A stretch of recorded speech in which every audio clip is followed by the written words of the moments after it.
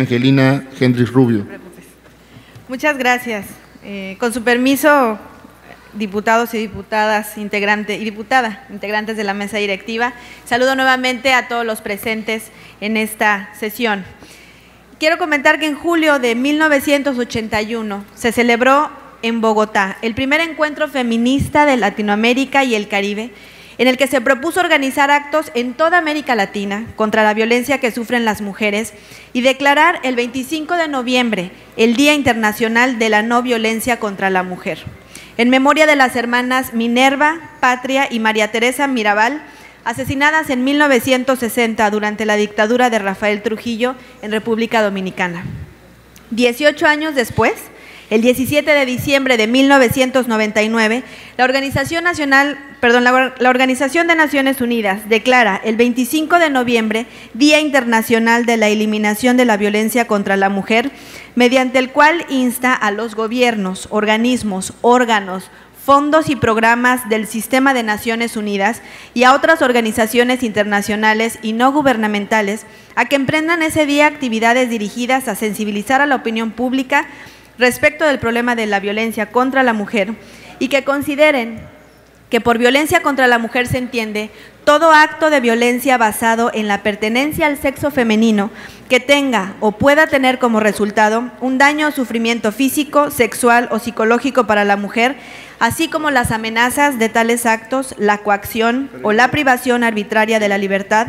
tanto si se producen en la vida pública como en la vida privada. 16 años más tarde, el tema de violencia contra las mujeres aún permanece en la agenda internacional.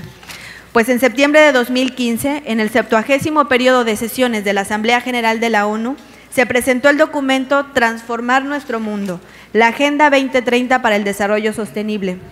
el cual, dentro de sus objetivos para los próximos 15 años, propone que a nivel mundial nos planteemos como una de las, estas 17 metas, alcanzar la igualdad entre los géneros y empoderar a todas las mujeres y niñas a nivel internacional. Para ello se deberán adoptar todas las medidas para evitar problemáticas como la discriminación contra las mujeres y las niñas, la violencia contra todas las mujeres y niñas en los ámbitos público y privado, incluidas la trata y explotación sexual y otros tipos de explotación, Prácticas nocivas como el matrimonio infantil, precoz y forzado y la, mutilación genital femenina. Y asimismo, debemos velar por la participación plena y efectiva de las mujeres y la igualdad de oportunidades de liderazgo a todos los niveles de la adopción de decisiones en la vida política, económica y pública. Debemos también fomentar prácticas que garanticen el acceso universal a la salud sexual y reproductiva y los derechos reproductivos, entre otros. Es por todo lo anterior que en el marco de la conmemoración del Día Internacional de la Eliminación de la Violencia contra la Mujer, los diputados integrantes de la Comisión de Desarrollo Familiar y Grupos Vulnerables de esta decimoquinta legislatura presentamos el día de hoy la iniciativa de reformas a la Ley de Acceso a las Mujeres a una Vida Libre de Violencia en el Estado de Quintana Roo, adaptando los principios contenidos en esta Agenda Internacional 2030, antes descrita, para que en nuestro Estado tengamos una ley de acuerdo con las normas y los objetivos internacionales. Para ello debemos recoger, recordar que el 25 de agosto del año 2006, el Comité sobre Eliminación de todas las formas de discriminación contra la mujer, dentro de las observaciones sobre el sexto informe presentado por nuestro país,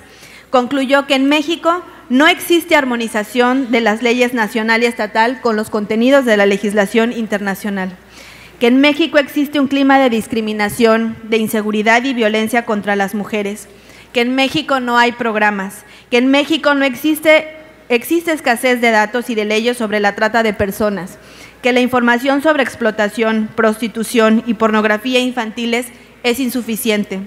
que son preocupantes las tasas de mortalidad materna, en particular las indígenas, la salud sexual y reproductiva y en relación con esta, el tema de acceso a la prevención del embarazo en adolescentes. Además de que no hay mecanismos de coordinación entre federación, estados y municipios, estas, entre otras preocupantes conclusiones. A partir de estas recomendaciones, expidió nuestro país en febrero de 2006 la Ley General de Acceso a las Mujeres a una Vida Libre de Violencia, misma que ha sido objeto de diversas reformas y adecuaciones. Bien, pues en ese tenor es que las diputadas y los diputados de esta legislatura hemos de tomar acción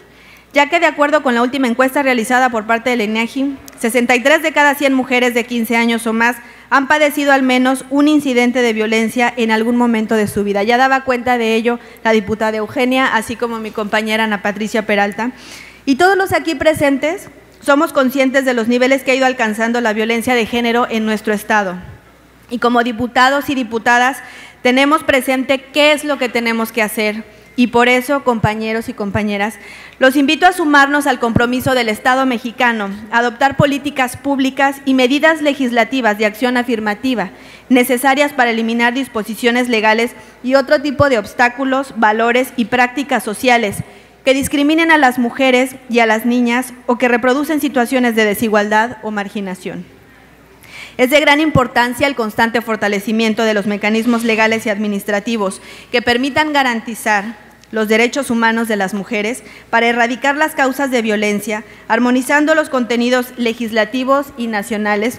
estableciendo estrategias que promuevan la transformación cultural hacia la no violencia contra las mujeres.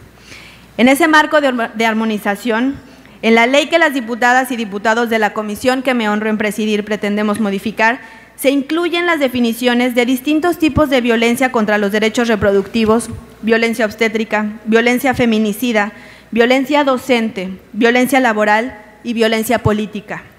De igual manera, proponemos la asignación de mayores responsabilidades a distintos organismos estatales como la Secretaría de Educación y Cultura, la Secretaría del Trabajo y Previsión Social y la Fiscalía General del Estado de Quintana Roo organismos cuya participación activa y eficiente es de vital trascendencia para la lucha por la defensa de los derechos e integridad de las mujeres.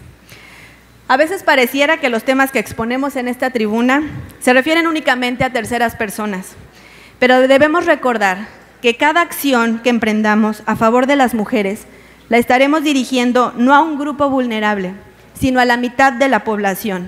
Aquí mismo en este Congreso vemos cómo estamos conformados Prácticamente la mitad de los diputados y diputadas somos mujeres. Y yo me atrevería a preguntarle a mis compañeras diputadas, Laura, Silvia, Jenny, Gaby, Ana Patti, si alguna de nosotras pudiera levantar la mano y asegurar que nunca hemos sido tratadas con violencia, en alguna de sus modalidades. Con violencia política, por poner un ejemplo, y que es uno de los conceptos que incluimos en esta ley de acceso de, de las mujeres a una vida libre de violencia. Entendemos por violencia política cualquier acto u omisión que vaya dirigido a acotar, restringir, suspender o impedir el ejercicio de nuestros derechos ciudadanos y político-electorales o inducirnos a tomar decisiones en contra de nuestra voluntad. Este tipo de violencia puede expresarse en la imposición de estereotipos de género, en la limitación del ejercicio de la, función político-pública, en la desinformación, en el ejercicio de nuestra función en evitar que lleguemos a la toma de protesta o suprimiendo nuestro derecho a la voz,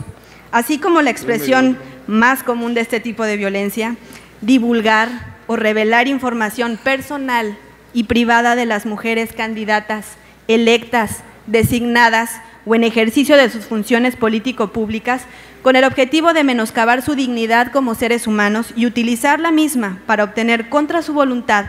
la renuncia o la licencia al cargo que ejercen o que postulan. Puede ser que las 11 diputadas de esta legislatura hayamos vivido alguna modalidad de esta violencia política y puede ser que no, pero hoy tenemos el privilegio de ser mujeres legisladoras. Tenemos la obligación de velar para que quienes nos sigan en este encargo puedan hacerlo en mejores condiciones de igualdad. Hoy que somos legisladoras, esposas, parejas, mamás, hijas, abogadas, maestras, arquitectas, comunicólogas, contadoras, administradoras, diseñadoras. Debemos estar a la altura de esa mitad de la población que representamos aquí. Las mujeres, y por eso las invito, al igual que a los compañeros diputados, que valga decir que han manifestado reiteradamente su conciencia y solidaridad en temas a favor de las mujeres, a que no perdamos esa perspectiva de género en todas y cada una de las actuaciones de esta legislatura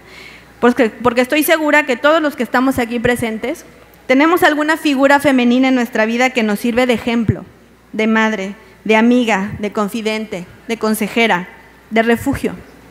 Hagamos lo que esté en nuestras manos para velar que todas esas mujeres puedan acceder a mejores condiciones de vida y que bajo ninguna de sus modalidades sean víctimas de violencia. Es cuanto.